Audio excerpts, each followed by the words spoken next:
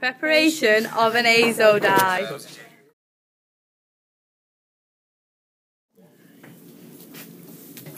We are now pouring hot water into sodium carbonate. We are now dissolving the sodium carbonate into hot water. Has it gone yet? Oh yes, looks like it's gone. We are now getting one gram of 4-amino benzoic acid. Is it one gram yet? No. No. Nearly. Nearly.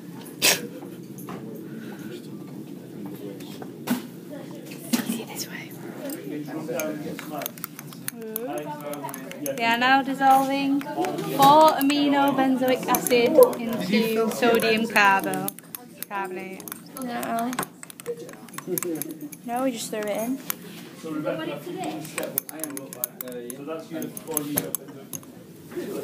This, we are adding 3 centimetres of HCl to our solution.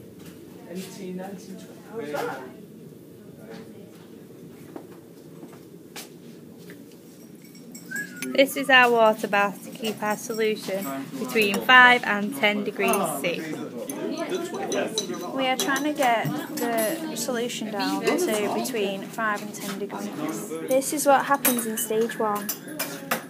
In this solution, I dissolve 0.5 grams of sodium nitrate into 2.5 centimetres of water. I am now cooling it to 5 10 degrees C in the water bath.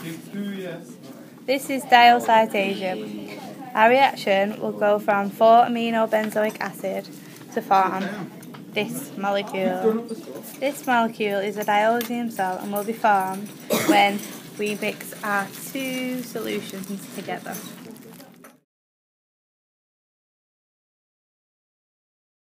We are now adding solution Look what A it's doing. to solution B.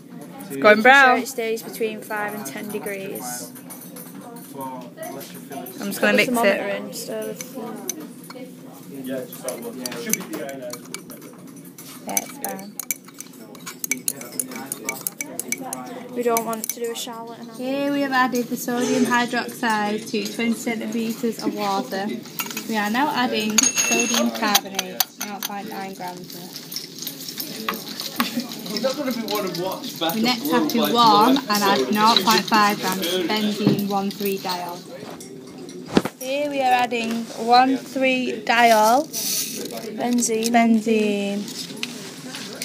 There we go, and Lauren's just going to mix it now. Ooh! It's gone purple. cucumber, but label it, okay?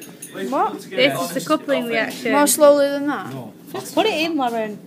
Whack it. Just says it doesn't say slowly. Get it in. Because it's so cold. There you go. This is a coupling reaction, and it's forming an azo dye. Ooh, look Mix at it. this. Look at the lovely red colour. Let me have a look on your lovely stirrer. What colour. Very nice. This is our azo dye. We are now going to see if we can dye this piece of cloth. Well, Lauren.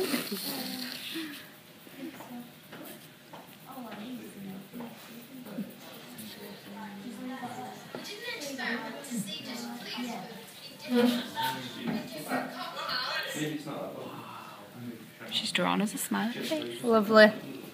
There